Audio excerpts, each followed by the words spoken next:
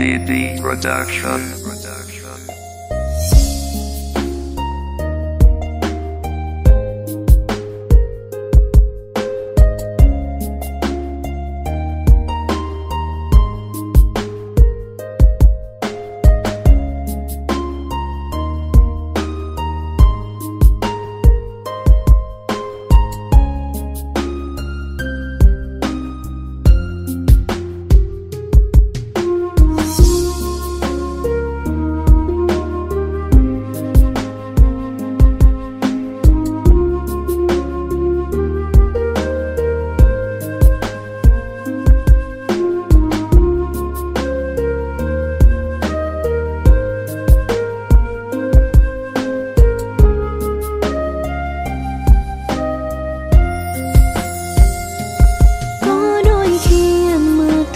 Anh quay lưng vội vã.